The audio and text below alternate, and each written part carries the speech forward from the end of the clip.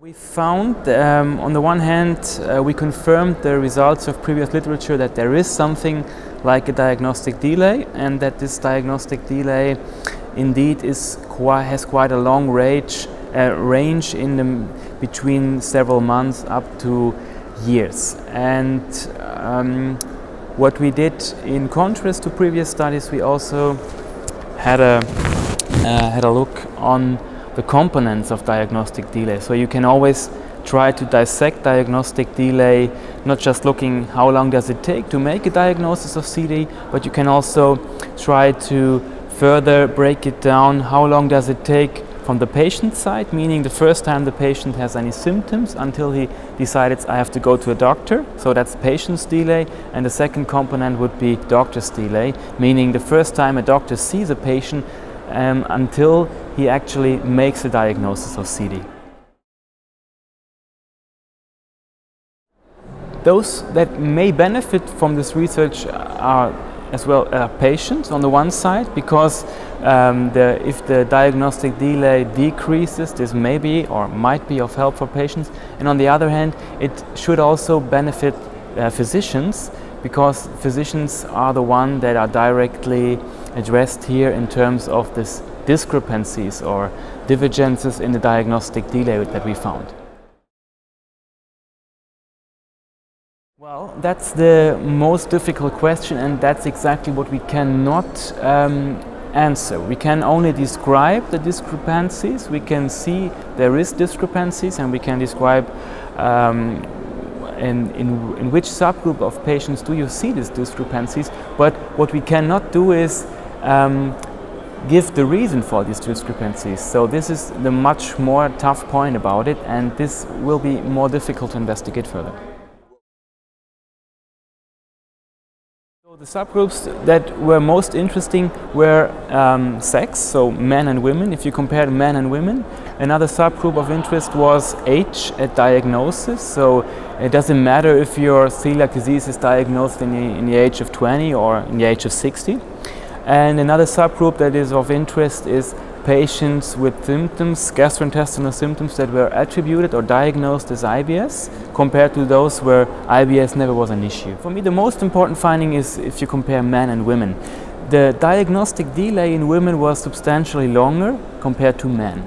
And if you looked further on that, um, if you looked at patient delay, so the time symptoms until going to a doctor's, it was exactly similar. There was no difference in men and women. However, if you looked at the doctor's delay, doctor's delay in women was significantly longer compared to men. One issue that you could think of would be women do have more IBS symptoms, so physicians might say, well, this woman that I have here with the abdominal symptoms, it's maybe just an IBS, so I'm not going to look for celiac disease. But we, of course, looked for that and we could see those differences in uh, doctor's delay. You could equally observe them in women with IBS symptoms compared to men with IBS symptoms or women without IBS symptoms and no diagnosis of IBS compared to men. So what I can, what, what we can say is IBS does not be, cannot be the explanation for this increased uh, doctor's delay in celiac disease. We were surprised to see that there indeed were consequences, even um, in this relatively small, well, we can say almost 2,000 patients isn't small, but it's not, not an, an entirely large subset of patients, we could see that diagnostic delays seem to matter. So what we first could see is if you were diagnosed within two years, uh, shorter or within two years, you had a much higher likelihood of being free from symptoms 6 or 12 months after diagnosis if you followed the gluten-free diet and so on compared to those patients that were not diagnosed in this period but had a longer delay. So you could speculate that with a longer diagnostic delay in CD there happens something to the bowel um, and to the disease itself that makes it more difficult in the future to address these symptoms with a gluten-free diet. That was our first key finding. And another key finding was that those patients with a longer diagnostic delay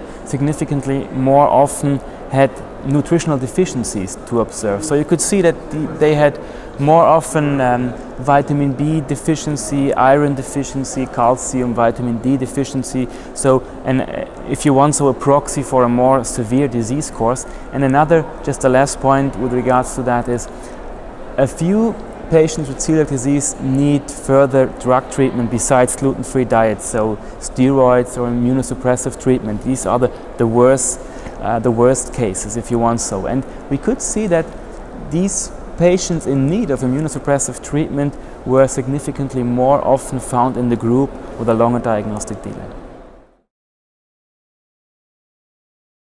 The, the research from here goes into further analyzing which factors may be also um, associated with an increase in uh, diagnostic delay, especially in doctor's delay.